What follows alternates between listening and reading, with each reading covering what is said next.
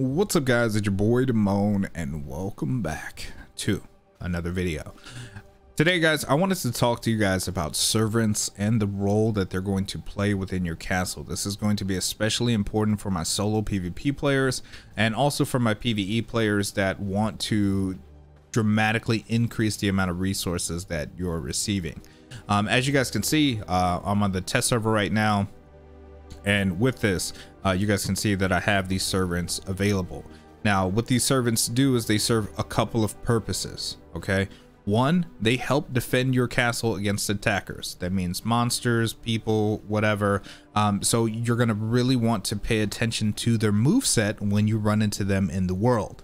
Case in point, when you find them, you're going to ask yourself, how annoying were they uh, in terms of almost killing me and or killing me?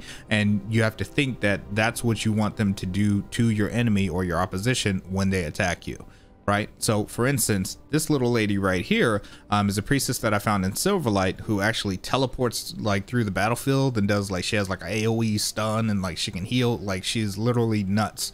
Um, and there's some other ones like the two-hand sword users and stuff like that that you can also use that are also pretty annoying to deal with. So unfortunately, I don't think we can tame creatures and or bosses. So it looks like it's just humans for now, but maybe in the future we'll have like frogs and stuff that we can get and then we can spice some things up.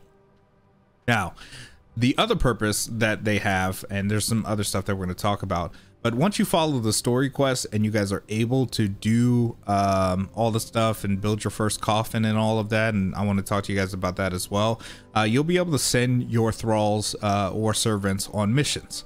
Now, keep in mind, and this is something that I found initially that I thought when I saw this gear score or power level of 650 that I could just put two servants in here basically that totaled to, to you know, 650 um, but that's not how this works. So you'll notice I have a success chance of 0% to make this happen, meaning I will 100% fail this because with this recommended power level, they're recommending that each of your people individually have this power level, and then you send them out together with that power level, and then you'll find success. okay, so please don't make this mistake uh, that I made. All right, so that's going to be the big thing. But you can get a variety of materials based on locations and stuff that you've explored. You can send them out, um, and you can also adjust the time setting on how long it's going to take here. Let me go back in here and show you this while I explain this.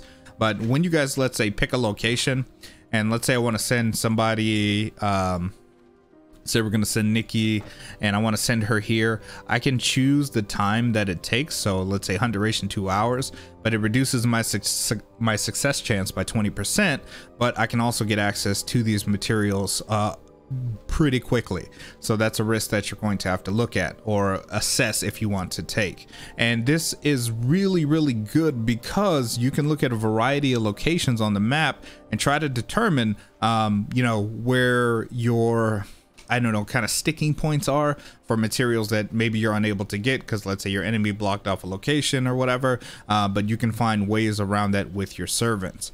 Now, something I do want to mention in order to craft these coffins, you're going to need specific resources, one of which is a greater blood essence. Now, if you haven't gotten to a certain point or killed a certain boss in the game, it's really hard to make these, meaning you're going to need a specific material called unsullied hearts. Now, you have a very rare chance to get these unsullied hearts from pretty much any mob in the game, but they drop more so from the little mid-boss mobs that you'll run into in the game. They also drop from the human bosses that you guys are also going to encounter. Please, do not make the mistake of eating these hearts or consuming these hearts for blood. Again, they're called unsullied hearts because you're going to need them to craft your very first blood essence or first few blood essences um, so you guys can get your servants out and and bump up your econ or at least have some basic castle defense should you be attacked early on.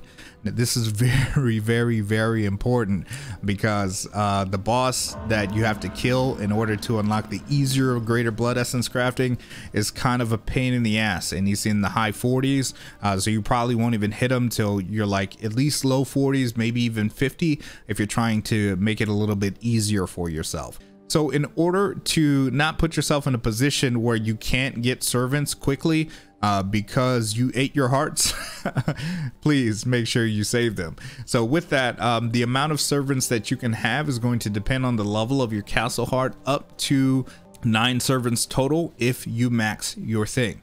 So on top of that, um, once you guys get access to the prison, these humans that you capture, you can place them in the prison cell if you just want to use them because they have a high quality of blood. Because what you're looking at is you want to ultimately have all of your servants with like 100% blood capacity, and you want to have all of your prisoners with 100% uh, you know blood quality, um, and obviously different variations of blood quality, so you can kind of mix and match and play with your class system, and that's going to be part of that.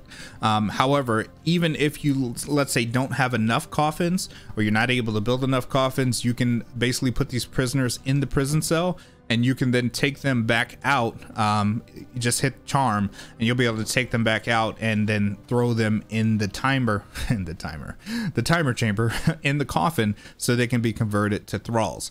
Now, here's the thing though, guys. Um, when you guys get this, I would advise that as you play the game, try to get the floors for your crypt eventually and you'll unlock those by collecting like I think scrolls or schematics I can't remember which one. But in your study or your library you guys can unlock these floors to make a room called a crypt.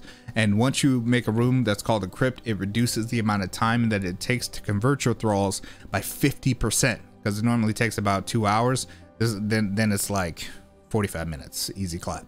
So that's going to be really important. You're also going to want to pay attention to the benefits that they have so when sending out a team to specific regions or for specific resources, uh, you're going to want to stack the buffs that um, are most beneficial. That's going to give you the largest chance of success uh, when you guys are going through this. Now, the reason I say that you want as high of a blood quality as possible is because the higher blood quality is going to determine their expertise. So my servants right now are pretty dog. All right. This is why their expertise is only like 3%. Uh, this one is 8%. And this one I think was like a 50 percenter.